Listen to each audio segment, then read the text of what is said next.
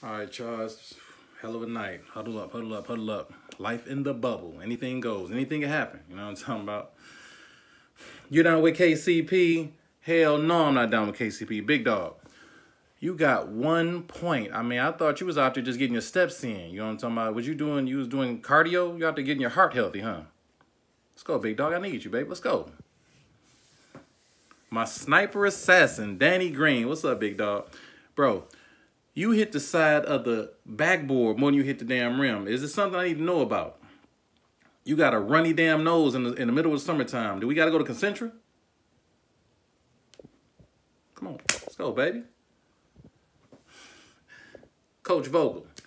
Uh, bro, if KCP and and and what's what's my Caruso, if they out there stanking up the joint, try Waiters, try JR. It can't get no worse. But I ain't gonna get on you too bad, man, because we both get our hair cut at Bo Rick, so I ain't gonna get on you too bad. You my dog. All right. Fellable, hey, like they say, what they say in LA, Atlantic don't panic. That's right. We back on them on Thursday. We back on their ass. All right, but it's late. Y'all go ahead. Get y'all some Z's. Get y'all some rest. It's all good. All right. Peace. One love. One. KCP, one moment. One, stay one sec. All right, y'all. Love.